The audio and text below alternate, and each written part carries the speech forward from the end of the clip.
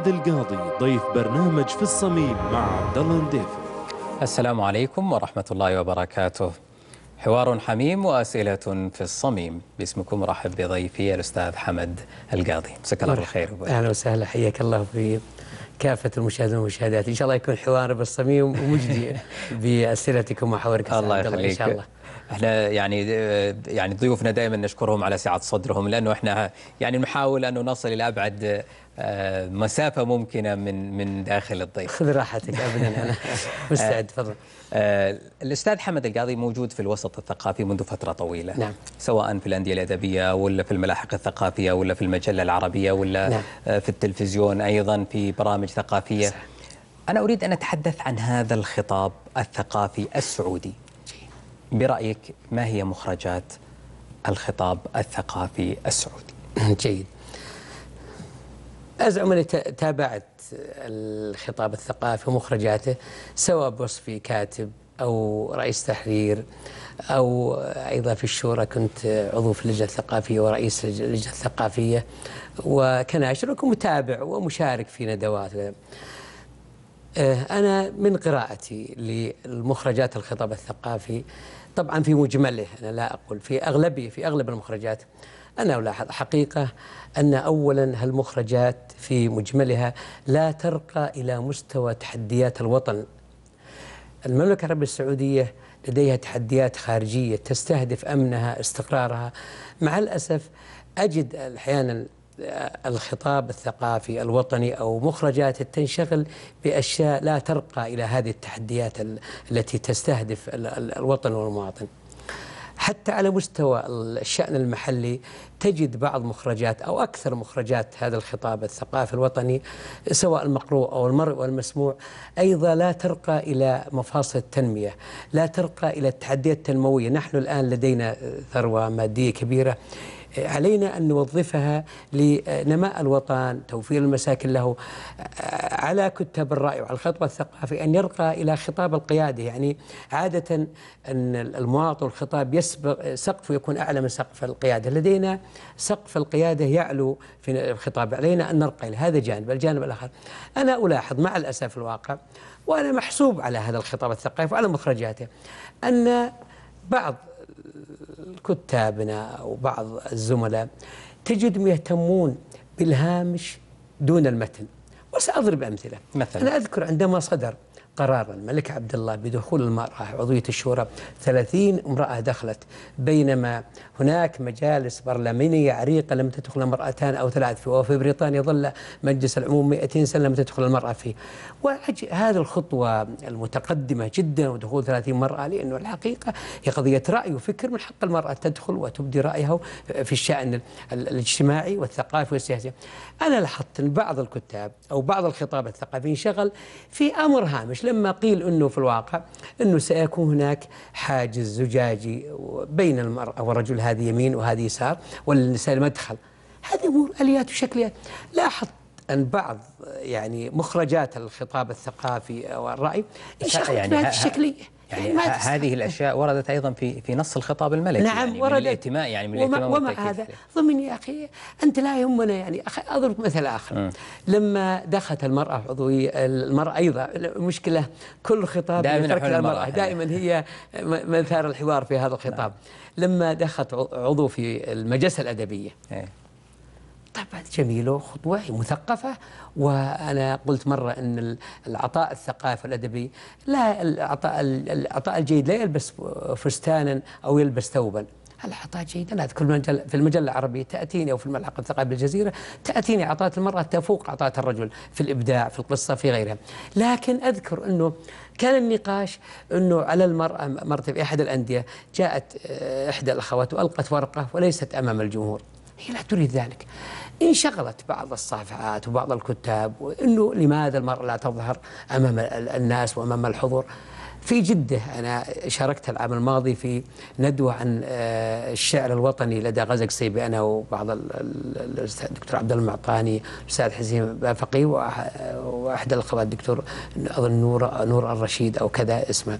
هذه المرأة قد آه، قدمت ورقة رائعة جدا لكن لم تكن معنا بالمنصة كانت في آه، جزء آخر من من القاعة وقاعة أخرى وألقت ورقتها. ورقة والله أنا لا أتحدث عن ورقة الأخير لكن بالنسبة لي أرى تفوقت على ورقتي.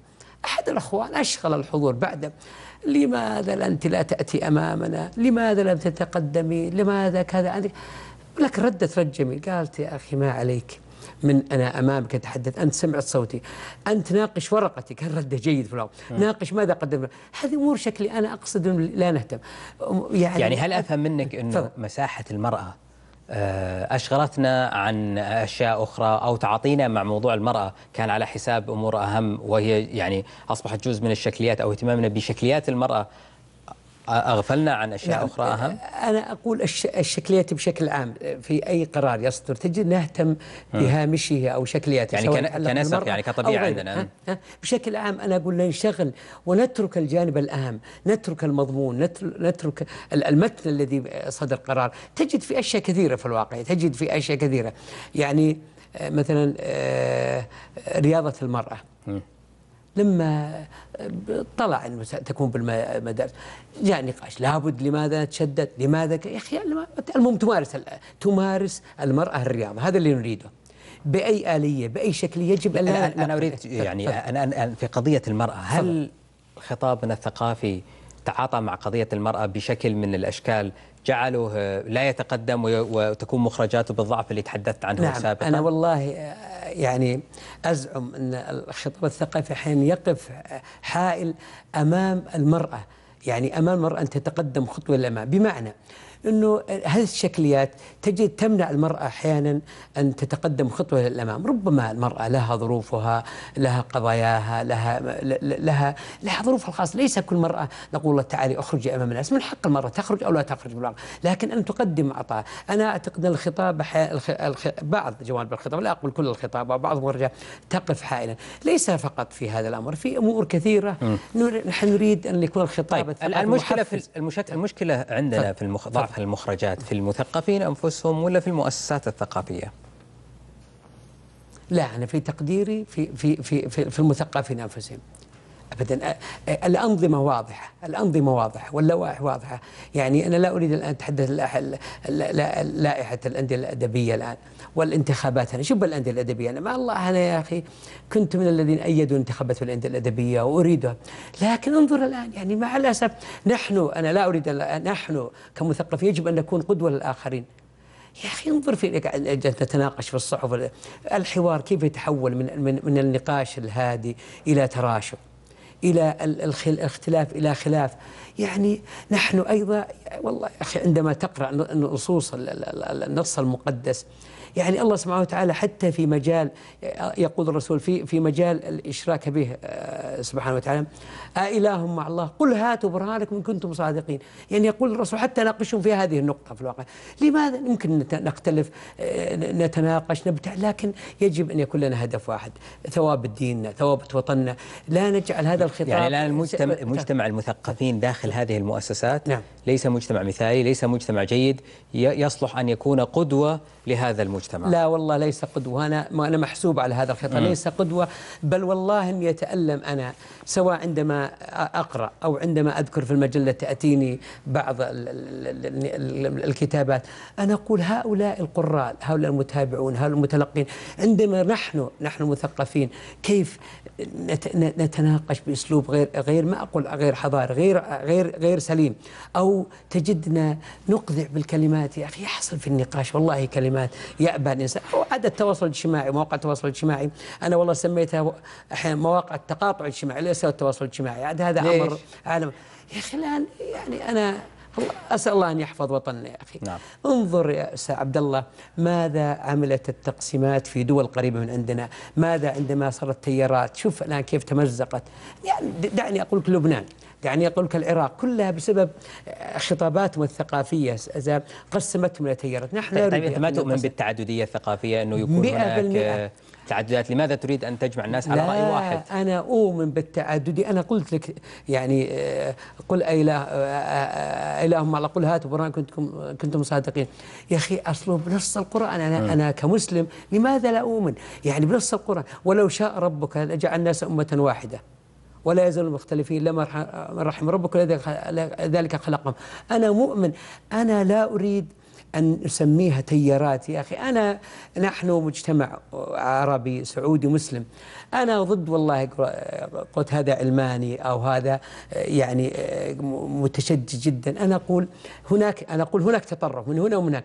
لكن التقسيمات بهذه التي قص التي مزقت المجتمعات الأخرى أنا ضدها. يا أبو بدر يعني هو يعني تؤمن بالتعددية الثقافية وتقول من حق الناس أن تختلف وأن يكون هناك تيارات إيه. فكرية مختلفة إيه. تتصارع بينها بالأفكار وفي النهاية جميل. يبقى الأفضل جيد. أو أنه لا يجب أن نتوحد وأنه أنت ضد التعددية الثقافية. يعني هي معي ضد.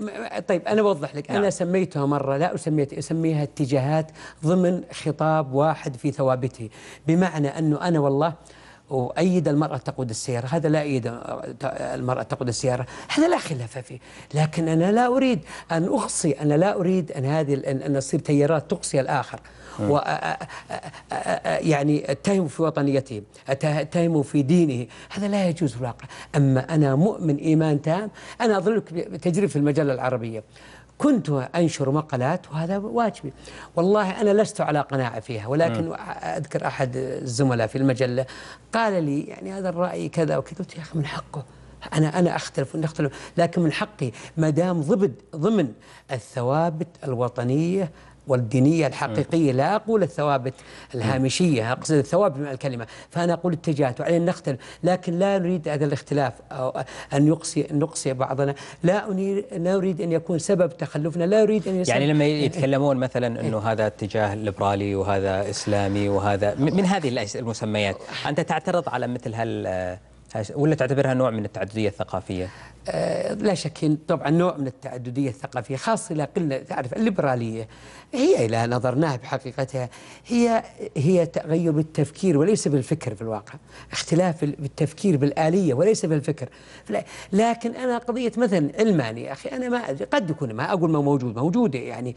لكن كون أقسم المجتمع قسمين إسلامي وعلماني هذا أنا يعني حد فاصل بينهما. قد يوجد أنا لا أعتبرهم تيار. عندما يوجد أناس مثلا مثلا هؤلاء المتطرفون دينيا لا يمثلوا المجتمع السعودي كله. هذه أفراد محدودين. وأنا في كتابي رؤية حول صورة إسلامنا وبلادنا م. الذي قدمه الأمير نايف رحمه الله. قلت أنا هؤلاء هم الشذوذ الذي يؤكدون القاعدة نعم. سلامة المجتمع السعودي في الواقع. يا أخي نحن حتى أنا لا أتهم مناهجنا الذي يتهمون مناهجنا. دكتور محمد الرشيد له عبارة جميلة وزير التربية. يقول إذا مناهجنا تخرج الإرهابيين فأنا أول إرهابي وكان وزير التربية يقول. نعم. لكن قد يأتي المعلم أقول لك صحيح لكن كمنهج لا ولا يعني أنا لا يطور لا يتناغم مع العصر لكن كون نتهم كل مناهجنا نتهم آه كل علماء هذا اللي أنا ضده أو نتهم كل أصحاب التيار آخر آه، الليبراليين نتهم طيب القضية الخصوصية السعودية دائما تيجي الخصوصية صحيح. السعودية الخصوصية السعودية. صحيح. هل هل آه، يجب أن نتعاطى بإيجابية مع مفهوم الخصوصية السعودية؟ أو ما في شيء اسمه خصوصية سعودية جيد. في الوسط هذا طرح في في الأحساء لما في الحوار الوطني آه، حول الخصوصية. أنا أذكر قلت وكتبت هذا الكلام في مقال آه، لي في صحيفة الجزيرة. أنا لست ضد الخصوصية لبلدنا. هناك خصوصية لكن لها شروطها. لا لا أستطيع. نحن لدينا الحرمان. إحنا متنزل الوحي. لدينا يعني بلد الأصالة بلد الثقافة بلد الإسلام. هذا حقيقة لا نستطيع أن نجادل فيها. لا نستطيع. هذه جغرافيا هذا الحرمين نفخر في وجودها لكن أنا أريد هذه الخصوصية.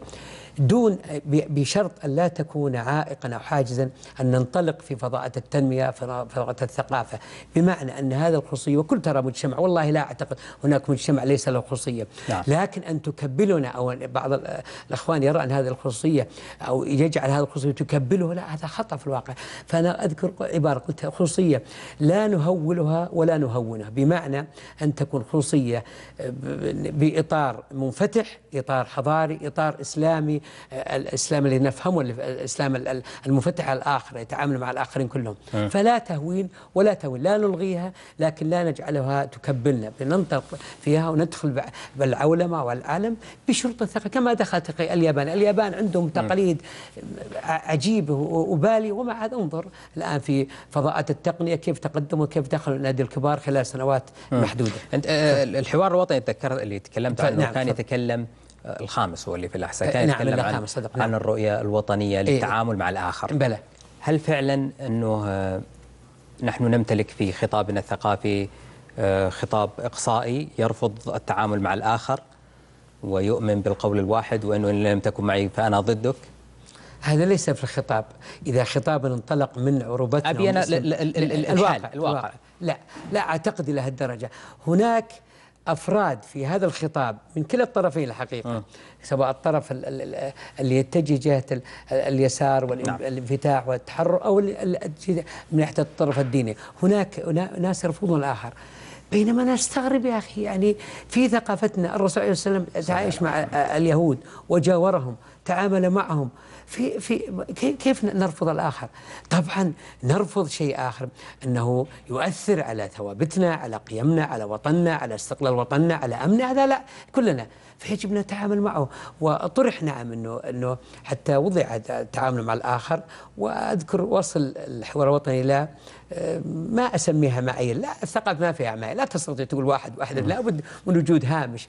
وربما تطرق لكن, لكن مجتمعنا الثقافي يتبنى الإقصاء ولا ما يتبناه؟ يؤلمني أقول إن أنه في في بعض مخرجاته يتبنى الإقصاء من الطرفين. ومع الاسف منهم الطرفين لا نقصي بقول المتطرف من الناحية الدينية والمتطرف من الناحيه التحرية يعني م. اللي يسمى علماني أو متشدد دينيا أو بالأسلوب الإسلامي نعم. الغالي في دينه الحقيقة. نعم في في بعض مخرجات يا أستاذ عبد الله مع الأسف نحن لا نقصي الآخر البعيد الأوروبي أو الغربي. نحن نقصي بعضنا وهذه والله هذا اللي سيضر هذا الوطن. يا أخي أنا قلت في بداية حوارنا الوطن يواجه تحديات خارجية تحديات تنموية. يجب أن يكون اختلافنا في ضمن إطار هذا الخطاب الوطني في ثوابته طيب الوطنية والدينية. اللغة اللي يتكلم فيها أستاذ حمد أنه يعني لغة فيها يعني كل كلها سلبيات يعني كلها فيها لغة تشاؤمية على المخرجات وعلى الواقع. إيه؟ إيه؟ أنت لما كنت رئيس اللجنة الثقافية والإعلامية نعم. والشباب في. مجلس الشورى آه عام 25 26 تقريبا. لا. ماذا عملتم حتى تعدلون هذا الوضع القائم في مؤسساتنا الثقافية وفي مثقفينا وفي مخرجاتنا؟ جيد. جيد. هذا سؤال جيد. الحقيقة وأشكرك عليه. تعرف طبعا مجلس الشورى له آلياته له نظامه طبعا. هو لا يستطيع بخلال قرار أو توصية يقلب الدنيا ويغير كل نظام وغير كذا. لكن نحن فيما يأتينا تعرف مجلس الشورى دوره إما أنه يسن أنظمة أو يعدلها أو عندما تأتي تقارير الجهات آه، نقرأها ونلاحظ عليها ونطرح التوصيات باللجنة تطرح توصيات ثم تسمى قرارات عندما تأتي تحت قبة المجلس التي تساعد هذه الجهة ليكون عطاؤها جيدا ليكون خطابها آه، مفيدا للوطن نعم. في, في أذكر في مثلا في ضمن الأشياء التي آه، جاءتنا في في المجلس مثلا رابطة الأدباء وكنت أنا في ذاك الوقت م. كنت رئيس اللجنة رابطة الأدباء الحقيقة رابطة الأدباء والكتاب وطبعا لا يقال أنه يعني الكاتب أعتقد الأديبة المعروفة الاستاذه اميمه الخميس قالت لماذا فقط الأدباء والكتاب؟ وضحت قلت لا إحنا التغليب الأدباء ونقول ولا الكاتبات. فوضع والله يعني تنظيم جميل وجيد. طبعا هذا ليس فقط وقت رئاستي. آه، هناك آه، من سبقني في هذه اللجنة هناك زملاء كانوا في اللجنة في الدورة التي قبل أن آتي للمجلس أنا ما أسأل عن التفاصيل لا لا أعطيك لا أنا أتكلم إنه أنتم أنت كنت على رأس نعم. اللجنة. التي مسؤولة عن هذا الملف تحديدا. جيد. مجلس الشورى لم يساهم في حل المشكلة اللي أنت تحد... شايفها بوضوح. سأختصر لك. رابطة الأدباء أوجدت في تنظيمها ما يجعل هذا الخطاب الثقافي طبعا هي تضع آليات لا تضع يعني ما تضع آليات أنه يكون مساند لخطاب الوطن وتحديات الوطن. في في بعض جوانبه في مجال الإذاعة والتلفزيون. كان من ضمن التوصيات للمجلس أنه يعني أن أن يواكب الخطاب الذي يقدم في التلفزيون السعودي وفي القناة السعودية تحديات الوطن، الامر الآخر أنه من ضمن التوصيات أن على الأندية الأدبية أن تتيح المجال لكل الأدباء والمثقفين، أيضا من ضمن التوصيات في أعتقد لما جانا آه التوصيات هذه ليش ليش هذه التوصيات إيه؟ ما أثرت في المشهد الثقافي؟ هذا أمر آخر. هذا الشيء الشيء القرار شيء والتنفيذ شيء آخر. طيب أنا أنا مجلس الشورى ليس تنفيذيا. خليني أجل لك. خل... القرارات خليني أجل خليني أجل مجلس الشورى شوي. تفضل. يعني أنا ودي أشوف شيء يعني مشرق يعني. تفضل. أين نجح الث... يعني كلها اخفاقات أين نجح الخطاب الثقافي اعطني شيء أشوف إنه في شمعة كويسة إنه هنا نجح الخطاب. الثقافي السعودي عفوا سأبدأ أكثر انت تقريبا سؤالك في البداية كان عن سلبيات عن أو ملاحظات على الخطاب الثقافي قلت مراجعات أنا إيه. سأتي لك أنا في ألو... سأتي لك الآن بالاجابات نعم. أنا أعتبر رغم كل السلبيات الموجودة خطابنا الثقافي السعودي المطروح سواء عبر المرئي أو عبر أنا أعتبره خطاب والله خطاب جيد عندما أقارنه بخطابات أخرى أو في دول أخرى ودول مجاورة أعتبره خطاب جيد. قد يشذ فيه من يشذ في بعض ثوابته أو بعض طروح في بعض ما ثواب في بعض في بعض طروحاته الدليل على ذلك يا أخي أنه الآن هذه التنمية التي نحن نعيشها أن الخطاب الثقافي أسهم كثيرا في على المستوى التنموي على المستوى الثقافي على المستوى الاقتصادي. هذه الطروحات اللي تقدم سواء عبر الصحف والمجلات أو عبر الكتب أو عبر الحوارات التلفزيونية هذه جزء من الخطاب الثقافي في الواقع. لكن أنا عندما طرحت السلبيات أريد يعني من حبي لوطني وعشقي لوطني نعم. وثقافة وطني أن يكون الخطاب يمثل هذا الوطن حقيقة طيب. وطن الخطاب تعرف الخطاب السياسي والحضور السعودي معتدل اقتصاديا وسياسيا وبالتالي أريد أن هذا الخطاب الثقافي كامله يتواكب ويتزامن نعم. مع هذا الخطاب ويتماهى معه. نعم. والحمد لله في إيجابيات كثيرة. واقرأ صحفنا واقرأ كذا. ما عدا والله مواقع التواصل الاجتماعي لأنها تأتي برموز. أنا يعني في أغلبها لا أتفق معه الحقيقة ولا تمثل المواطن السعودي الذي يطرح. يعني هناك ثلة معينة من المثقفين في من كلا الطرفين يتحاورون بعيد عن هم المجتمع وعن طروحات المجتمع. تجد من عندما تقرأ مواقع التواصل الاجتماعي أو بعض الطروحات فيه تقول والله ما لو ما أعرف المجتمع السعودي ما أتوقع ما أعرف لا بس حتى حتى الآن لما نتكلم على موضوع الشأن الثقافي هل فعلا يعني تحضر أحيانا ل لفعاليه في نادي أدبي إيه؟ تجد الحضور يمكن ثلاثة أربعة خلص واللي يتكلمون في هذا بعيد تماما عن هم الناس ولا يمكن أن يتسق لا من قريب ولا من بعيد مع هموم الناس وبالتالي أنه هل هل يصلح في هذا المشهد أن نطوره وأن نقول أنه الخطاب الثقافي السعودي هو بعيد عن هم الناس منكفئ على نفس على نفسه. يشتغل بمعارك جانبية بينه وبين بعضه. أتفق معك كثيرا. الخطاب المنبري في أغلب الأندية الأدبية بعيد عن شأن الناس وهمهم واهتمامهم سواء الثقافه والتنمية. يا أخي أنا مرة كتبت أعتقد أو كذا أنه قلت أو رأيي في عكاظ إنه جاءت موضة الأندية الأدبية كأن الرواية كل شيء. ملتقى الرواية ملتقى الرواية ملتقى الرواية. يا أخي هذه الرواية يعني خلاص يعني في تبوك مرة يعني أقاموا ملتقى كان جيد والله. المجتمع وتنميته. ودور الثقافة. كان جيد الحقيقة الموضوع. م. يعني الأندية الأدبية والله أغلبها يغرد خارج السرب. وبالتالي هذا سبب عدم الحضور.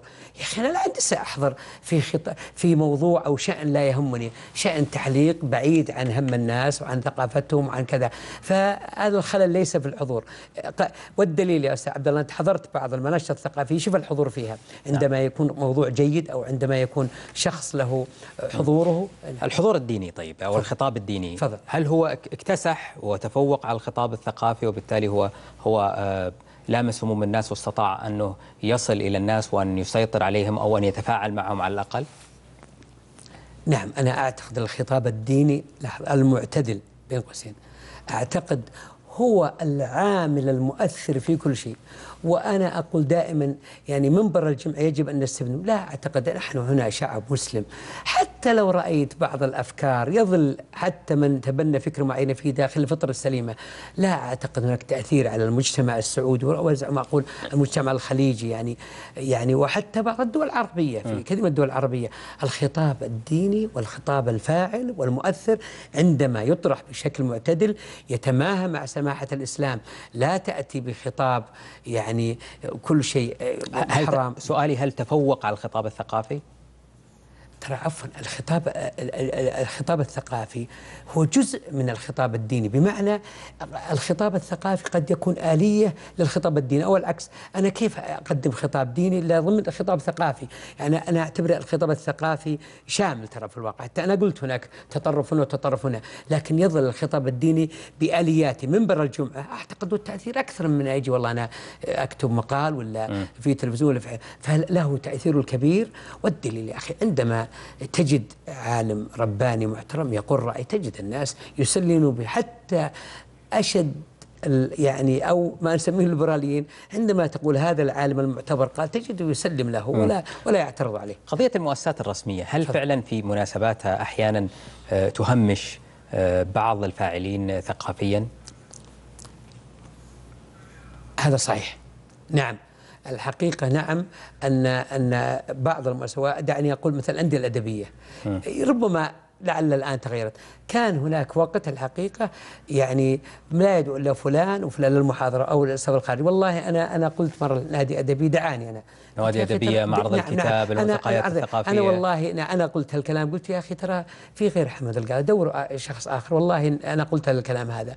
يعني أنا من الذين ساهموا فيها. أنا أعتبر نعم يجب أنا أقول أتجه على الأندية الأدبية تحديدا وجمعية الثقافة. وحتى أي جهة يعني عندها منبر ثقافي أو تطبع كتاب يجب تتجه يا أخي. هناك والله أسماء فاعل وأذكر المجلة العربية.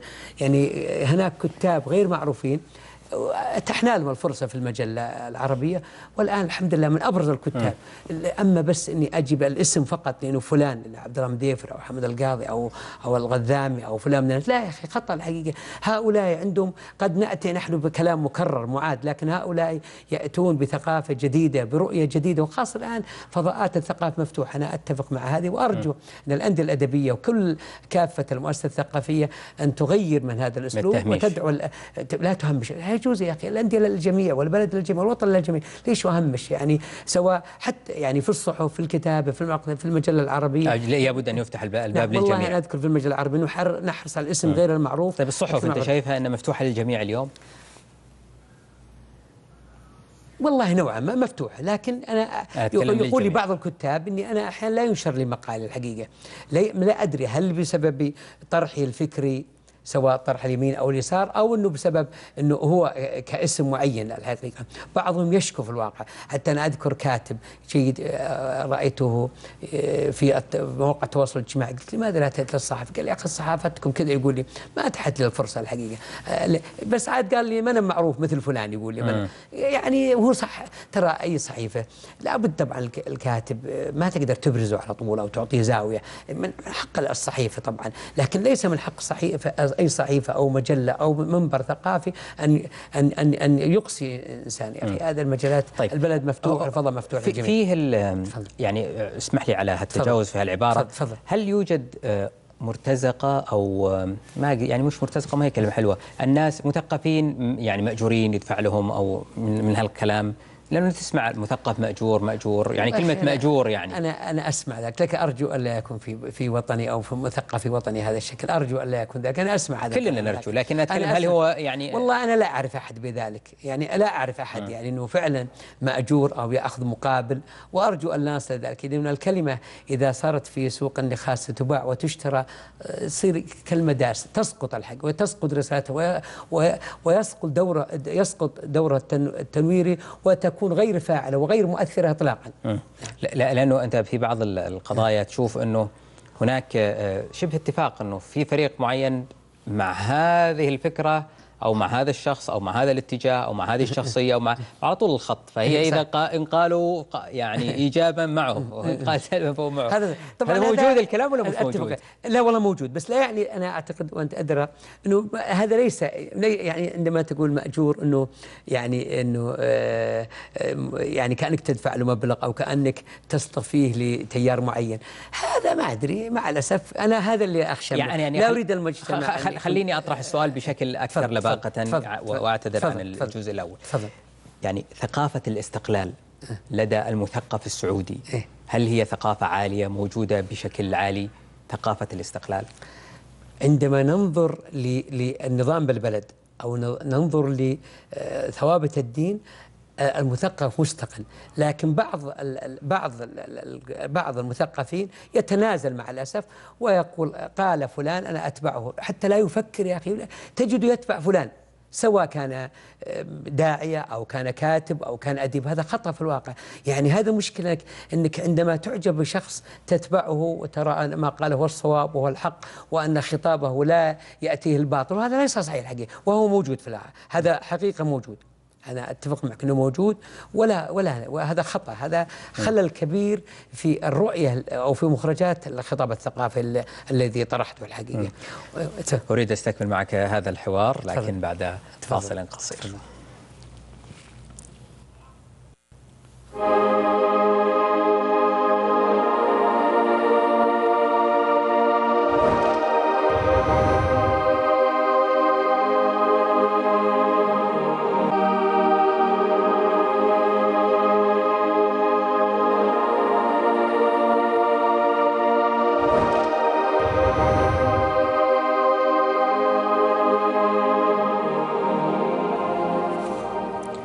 حياكم الله من جديد مع ضيفي الأستاذ حمد القاضي بدر ال ال ال الوسط اللي إحنا نعيش فيه هل إحنا نعيش في وسط يحتفي بالسؤال في مناخ للحرية آه، أو في توجس من فكرة السؤال وهي في أشياء يسأل عنها وفي أشياء ما يسأل عنها؟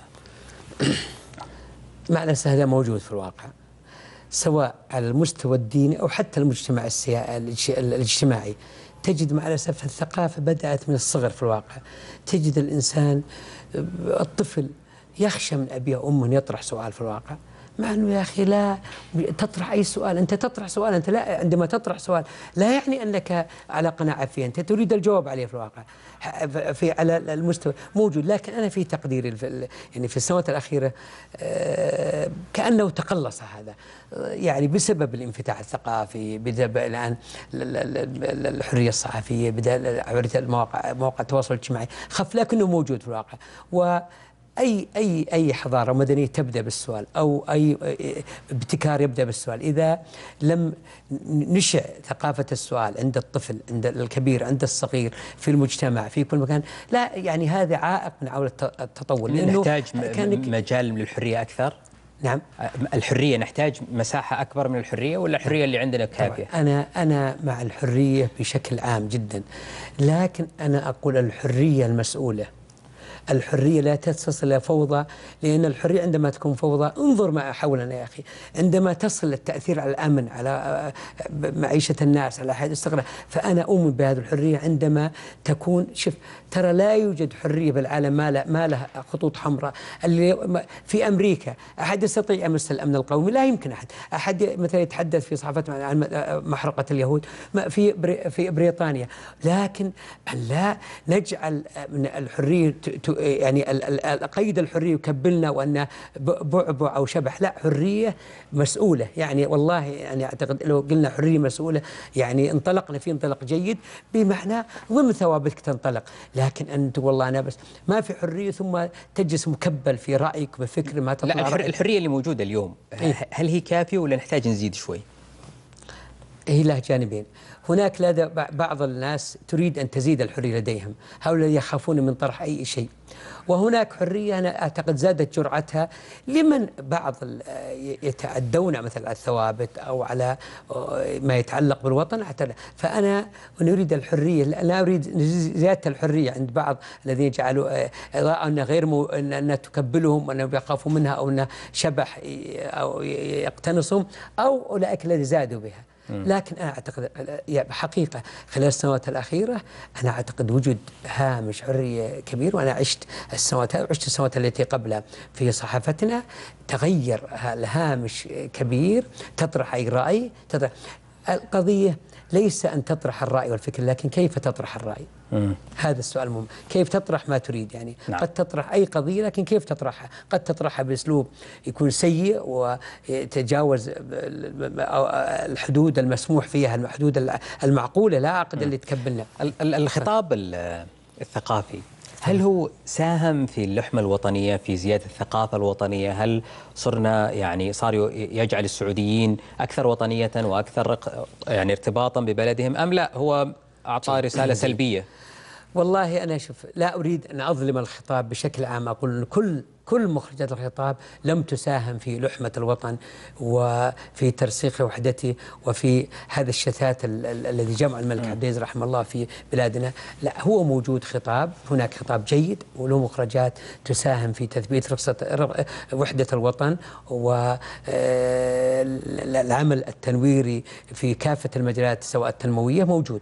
لكن مع الأسف هناك فئتين من فئتين أو طرفين من من هنا ومن هناك مع الأسف أعتقد أنهم أنهم خطاب يضر يضر في وحدتنا ويضر في استقرارنا ويسهم في تقسيم المجتمع هذا الذي الذي أقوله. نعم. يعني يعني نختلف في ظل نختلف في ظل هذا الخطاب ويكون اختلاف لا خلاف. لكن يا أخي أنا أقصيك أو أنك لست مواطن أو است... إيه التخوين تهم التخوين هذه توزع عند أي مشكلة. لا هذا خطأ نعم. نوزع لا وبدون دليل. ممكن يا أخي إذا إنسان أعطى أو جاء مخرج في خطابي ضد الوطن واضح؟ طبعا أقول له أنت ضد وطني ما في شيء. أو إنسان تجرع على ثوابت الدين في الواقع. ليس المسألة المسألة الخلافية. أنا أقول طبعا أنت أسأت الدين لكنه يجب نحذر نحذر من خطاب يقصى الآخر بدون سبب أو لأني نعم. أنا أختلف مع فلان. تفضل. أريد أن أستعرض معك مجموعة من الصور فضل. يعني بشكل سريع ونشوف هل سمحت لي. خلونا نشوف الصورة الأولى مع بعض. فضل.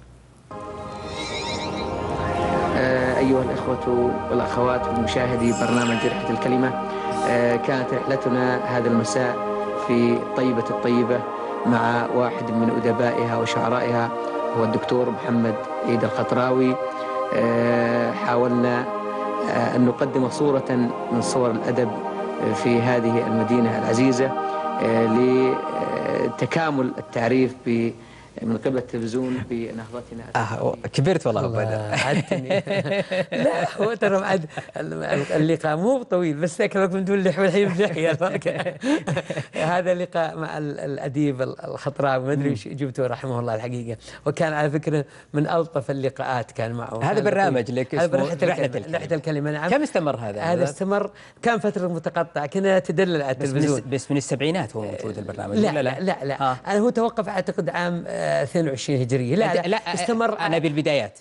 آه، لا هو استمر أعتقد في عام آه، والله أعتقد في عام آه، سنة 10 أو 9 هجرية ابدا. كان عندي آه. برنامج غيره لكن رحله الكلمة. رحله الكلمة. نعم هو اللي هو اللي كذا. إيه.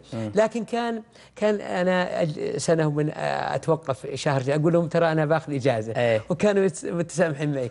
لكن ولله الحمد إذا كان البرنامج في بداياته خاصة التقى مع رموز ثقافية كان فكرة البرنامج إنه يقدم مسيرة هؤلاء الرواد حمد الجاسر عبد الله بن خميس محمد حسن فقيه طاهر زمخشري الشريف عبد الله بن خميس. أيضا كان هناك الأدباء يزورون المملكة في المهرجان آه، تراث الثقافة الجنادرية مثل مصطفى محمود آه، الشيخ الغزالي كنت آه، خالد محمد خالد أخي خالد محمد خالد بكى في البرنامج يعني كان وقت أزمة الخلي لكن أنا بسألك أنت أنت أنت وقفت عن البرنامج عام 22 لما اخترت إيه، لمجلس إيه الشورى. إيه. يعني ما يصلح يصير عضو مجلس الشورى ويقدم برنامج؟ لا يصلح يعني إلا إلا طيب إذا بكرة صرت أنا عضو مجلس الشورى تعلمني يعني أنا أوقف ولا ما أوقف؟ معهد الدكتور إذا صرت عضو مجلس الشورى لا أنا رأيت إن البرنامج يحتاج سفر.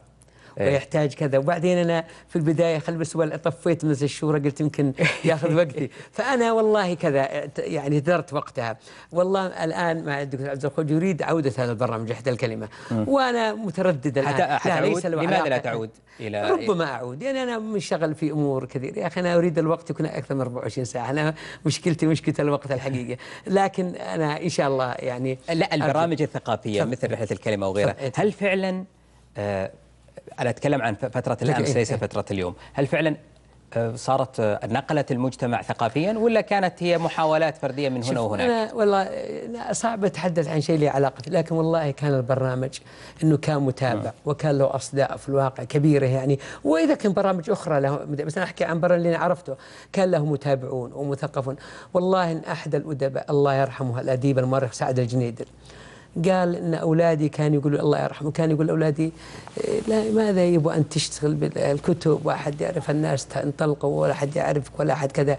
لما طلع البرنامج مع حلقتين قال لي إن أولادي بدوا يفتخرون فيه وبدوا الناس يعرفوني ويسلمون علي. تصور يا أخي هذا الرجل إذا كان يعني رحلة أو غيره عندما يظهر هؤلاء الذين الرواد التنويري التنويريين مثل حمد الجاسر بن خميس محمد حسن عواد حسين سرحان هؤلاء السم كان يعطي يقدم ال- العقبات التي واجهتهم الكتب اللي كذا. كان البرنامج ولله الحمد يعني كان يعني أزعم إنه حقق رسالته في الواقع في طيب. تعريف الرواد قضية التلفزيون السعودي يعني وثقه الناس فيه البرامج التي يقدمها. وانت قريب من التلفزيون السعودي نعم. شايف الناس. صحيح. إيش رأيك في شوف آه خاصة في بعض نعم ساعود مجلس؟ الشورى مجلس الشورى ناضل كثيرا من أجل تحويل التلفزيون لمؤسسه والاذاعه والتلفزيون لمؤسسه وفعلا آه، صدرت صدر مقر مجلس الآن بس هيئة، صار نعم. بدل ما صدر هيئة وهذا جيد الحقيقة. آه، طبعا عندما كان تحت نطاق الوزارة لابد أنه مكبل ماليا اداريا كذا أنا في تقديري طبعا ولازم نعطي فرصة الآن لهيئة التلفزيون وأخونا الأستاذ عبد الرحمن الهزان نعطيه فرصة أنه ينطلق بالتلفزيون لا ينطلق باليه ينطلق بمحتواه لا، أنا أبي- حتى أبي- الآن- أبي قبل الانطلاق. الآن لا اليوم- الآن اليوم. في تقديري تقديرك. عندما اقارنه بالقنوات المشاهدة والجيدة حتى الآن. لا, لا لم يصل درجة المنافسة معها. نعم أقول لم يصل درجة المنافسة معها. رغم الميزانيات الضخمة ما ما ما يقدر ينافس؟ المال ليس كل شيء. كيف توظف المال؟ كيف تعطي أيضا استغلال هامش الحرية بشكل جيد. كيف تأتي بالكفاءات الجيدة المحاورة؟ يعني هناك آه، محاورون آه، سعوديون في قنوات أخرى آه، ناجحون ومبدعون كنت أتمناه حاجة التلفزيون السعودي لا أريد أقول سي عبد الله مديفر أو تركي طيب يعني. أنا يعني لو لو الش- الشخص الجيد في في في قناة خاصة لو روح التلفزيون السعودي حيختلف أداؤه طبعا أعتقد سيختلف ليش؟ يعني لن يجد ما لن يجد الهامش ال- الحرية الموجود هناك رغم أن الحرية واحدة. آه، هذا تلفزيون آه، الآن مثلا خليجية أو حتى الإمبيسية برامجها في, في السعودية ومع سعوديين في الواقع. ويمكن تقول في القناة هي ما تقول بالتلفزيون السعودي. رغم إنه أنا للحق الآن السنوات الأخيرة الخمس سنوات اختلف عن السابق. الآن حتى عشان لا أظلمه هناك الآن برامج في القناة الأولى وفي الإخبارية. والله تطرح الق- ال- ال- القضايا بشكل مباشر وتلامس وتلامس اللي ما يراه الناس محظور وليس محظور بدأت تلامسها. لكن نريد أكثر. نحن نؤمل بالهيئة إن شاء الله أن تنطلق أكثر تنطلق في المحتوى وليس في الآليات أو الشكليات أو ال- ال- الاستوديو أو الديكور. وهمة يعني أبو ياسر واضحة إن في, شاء في الله. قضية نؤمل التغيير. إن شاء الله. آه، أريد استكمل معك في في. الصور ولكن بعد فاصل قصير.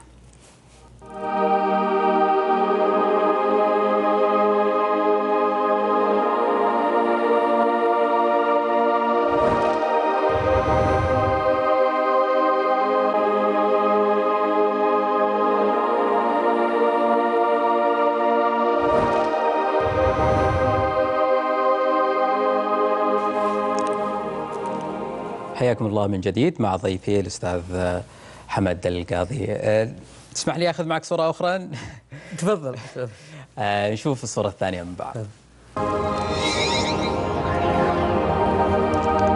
هذه صورة آه، المجلة العربية نعم. التي كنت رئيسا نعم، صحيح. للتحرير فيها صحيح. ليش غادرت المجلة العربية؟ جيد. طبعا المجلة جزء من نفسي وإذا كان لابد الفضل لله ثم مع الشيخ حسن عبد الله على الشيخ رحمه الله. نعم. أنا طبعا آه، ظللت في المجلة العربية كنت مدير تحرير وثم رئيس لمدة 15 سنة. وجدت أني أديت اللي علي في المجلة العربية.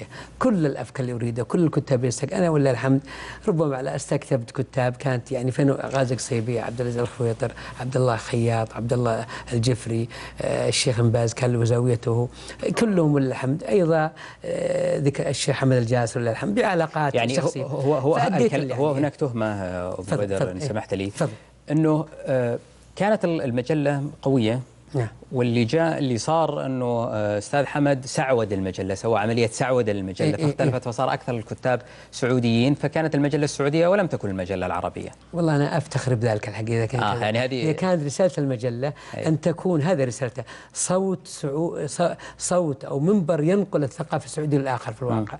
فيعني هذا كان هذه رسالتنا أنا أنطلق من من ده فلم يكن كذا. بينما أنا أذكر واللي من يرى أي عدد يجد من المغرب من سوريا موجود حتى كنا نكتب المغرب. وكانت يعني من الجزائر لا يوجد عدد ما فيه يعني كان جامعة عربية. يعني وهذا ليس جهدي جهد الحقيقة أنا والزملاء في الواقع. لا إحنا الحمد نتكلم لله. بصفتك المسؤول يعني إيه، إيه. طيب هذه هذه أنت يعني آه، تقول هذا شرف وإن حصل فهو نعم هنا. نعم أعتبر. ال- آه، قضية سقف الحرية لم يكن عاليا في المجلة العربية. كانت الكتابات بحدود سقف آه، أستاذ حمد هذا زين جيد. أنا والله ما لي سقف لك لا، أنت- أنت ما يحتاج، يقولون على كل هذا جيد. أنا اولا آه، ترى الآن تركت المجله خمس خمس أو ست سنوات. أنا قلت قبل قليل إنه خمس سنوات اختلف ال- الهامش الحرية الموجود عن لك في تلك السنوات الواقع لكن والله أنا كنت يعني آه، مو أنا والزملاء مدير التحرير والزملاء معنا كنا ننشر لا يعني في ظل الثوابت الحقيقية الدينية والوطنية. يعني كنت أنشر أنشر لل- لل- لل- للحداثيين يسمى نشرت لهم وعملت مقابلة. من أج من أقوى المقابلات التي عملناها في ذلك الوقت مع ال- ال- الأستاذ الدكتور عبد الله الغذامي وكانت من أقوى المقابلات. و... وأنا كنت أعرف الدكتور عبد الله. مع يع- من يعني مع الأسف ال- الآن تغير نظرة. يعني كانوا يعرفون عبد الله الغذامي بصورة أخرى. الذي يعرف عبد الله الغذامي وأنت قابلته في الواقع. نعم. ب- ب- باستقامته بوطنيته. ال- ال- الحداثة يا أخي ليست لا تمس الفكر ليست فكرة. الحداثة هي شكل من أشكال التعبير الأدبي في الواقع. أنا لا أريد أدخل في في لا أنا أقول. يعني أنا أتكلم عن قضية موجودة. آه، سقف الحرية. والله أنا أنه في وقتك ما كان عالي. يعني ما حاولت ترفع سقف ودي تسأل ال- ال- الكتاب الذين كان غازي قصيبي يكتب عندي أليس غازي قصيبي أنا أضرب أمثلة ما أبغى أدافع طيب. ولا غازي قصيبي عنوان من عناوين يعني ال ال ال أي. الانفتاح الفكري وكان له زاوية ثابتة استمرت حتى جاءت وزارة المياه وقطع زاويته عنا وصار ال- المجال العربي ضحية وزارة المياه. طيب قضية إنه ال- المغادرة آه، أنت تقول إنه يعني هناك أنباء تقول إنه إياد مدني هو الذي من أراد ان ان ان, أن اطلاقا والله. إنه والله يغادر، آه، اطلاقا حتى اطلاقا. قالوا إنه أنت استعنت بال بال بالوزير الخويطر واستعنت. بالأمير سلمان أنا خطابي أنا مقدمه أنا خطابي. مقدمه أنا أنا مقدم الخطاب لأترك العمل الواقع. فانتهت مدته ودكتور عبد العزيز يعرف ذلك انتهت مدتي في المجال العربية ورأيت إني أترك الحقيقة. وكنت قبل سنة ونص لا يعني لا أريد أن اظلمه اطلاقا في الواقع. يعني لي- ليس هو بل انه بل إنه كان لي هامش لو أردت أن أعود عدت اليه حقيقة. لو أردت أن أعود. لكن أنا يعني لا يعني بعد ما تركت نعم الآن الحقيقة الان مجله ذا وزميلي وصديقي الدكتور المصري يبذل جهد والزملاء المشكلة إنه الآن القراء انصرفوا عن عن عن ال- ال- الثقافة طيب في. حفل التكريم. في ثنية عبد المقصود خوجة. تفضل، إيه. قلت أمنيتي الأخيرة أن أدع مجال الصحافة بنارها ونورها ودو صحيح. آه، وورودها وحج صحيح. وحجارتها وأتفرغ إلى أجمل شيء أحن, أحن, آه، أحن إليه وهو القراءة والكتابة الأدبية. فالصحافة كانت معي ناكرة للمعروف. هذا صحيح. لماذا قلت الصحافة ل- ناكرة للمعروف؟ لأن لأن الذي دخلني عالم الصحافة هو الأدب. كنت أكتب دراسات أدبية. لما كنت في كلية اللغة العربية كنت أكتب ما أسميه شعرا. لما كنت أكتب كتابة أدبية لما دخلت غمار الصحافة وبديت أجيب أخبار تركت المجال الأدبي الجميل المضيء بعوالمه ال- ال- الرائعة إلى يعني جنة الأدب إلى نار إلى نار الحقيقة الصحافة. فأنا أقول هناك الجنة أخرجتني من جنة الأدب وكتاباته الجميلة والرومانسية والوجدانية إلى عالم المشكلات والهموم وال- أريد أستعرض معك أيضا. صورة أخرى إن سمحت لي. خلونا نشوف الصورة اللي بعدها.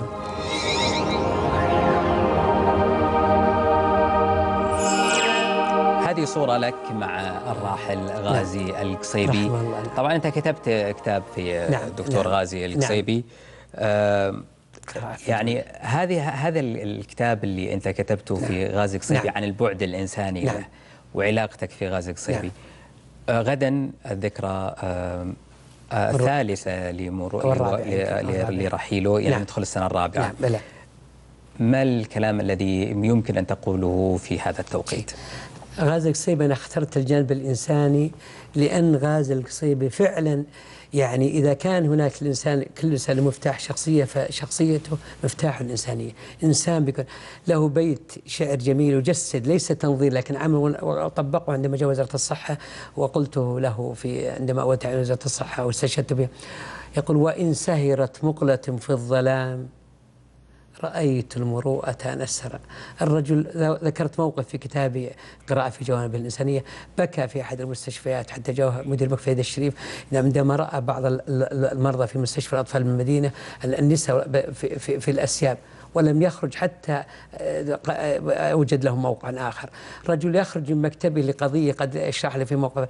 من أجل امرأة رجل رفض أن يجعل هذه المرأة عندما طلقها ترى أبنائها وخرج من مكتبه لبيت في بيت في حي شعبه بالرياض آه، رجل يعني بمعنى رجل يأتي من البحرين ليحضر زواج مستخدم كان لديه في وزارة الصناعة. رجل يعني حتى يا أخي على مستوى الاستقامة الدينية عجيب هذا الرجل الحقيقة.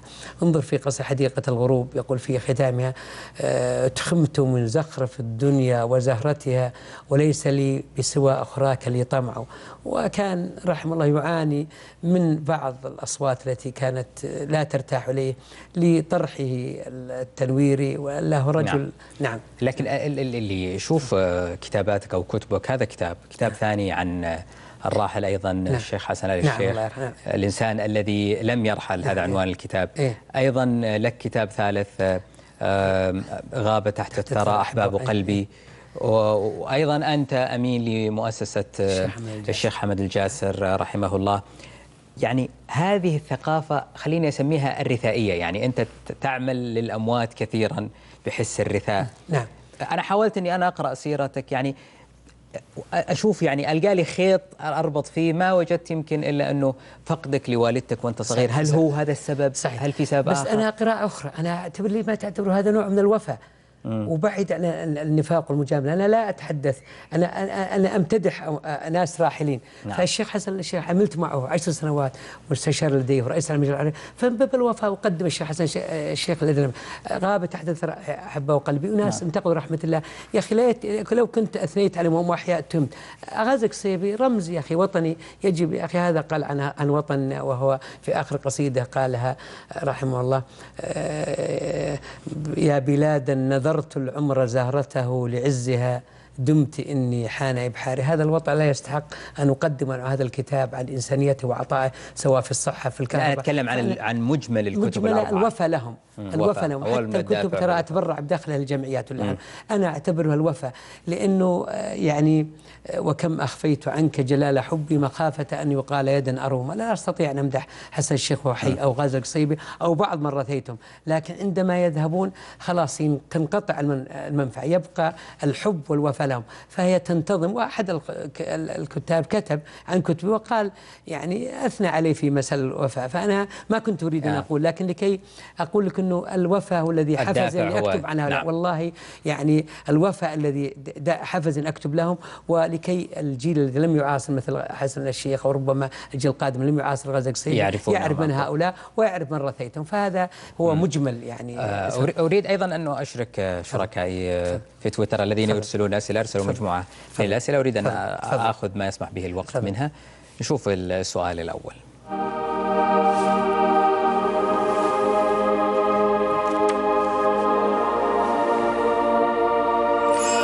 لماذا يتواجد الأستاذ حمد دائما في المناطق الرمادية فلا ينتقد المؤسسات والوزارات إلا نادرا؟ هل يخشى على علاقاته؟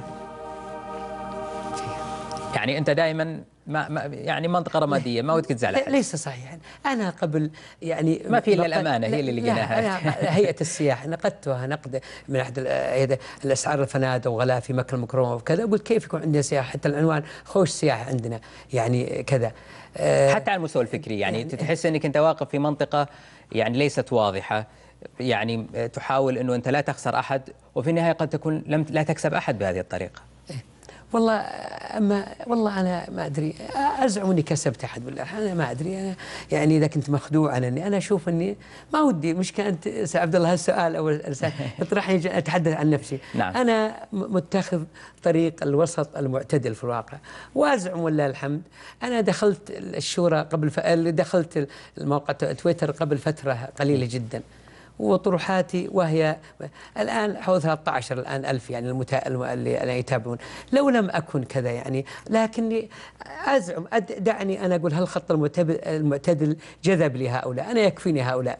أرضى بهم آه، ليس من العدد لأنهم النوعية في الواقع. لكن النقد والله أنا أنقد ولله الحمد. لكن أنقد أنا كتبت عن النقد الصحفي إنه كيف يكون؟ لا ننفي الإيجابيات لا نتناول الأشخاص لا أتناول الأشخاص أتناول الموضوع في الواقع. آخر مقالي يعني كان عن هيئة السياحة وتركها نعم. الفنادق تزيد بالأسعار كما تشاء وكل يعني وكيف يكون عندنا سياحة وحتى الناس يروحون مكة ما يجدون غرفة ب 2000 3000 ريال نعم أريد أن أستعرض معك أيضا. تغريدة أخرى. سمحت لي. شوف التغريدة اللي بعدها